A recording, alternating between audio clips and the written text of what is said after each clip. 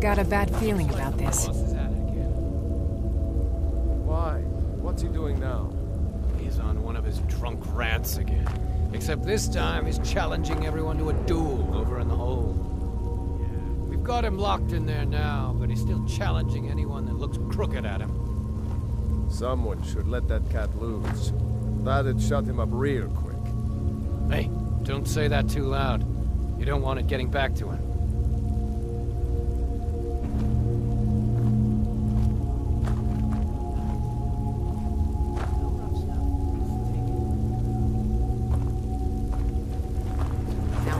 Picked a bad time. Get lost, friend.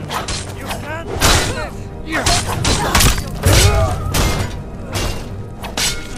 Got your back!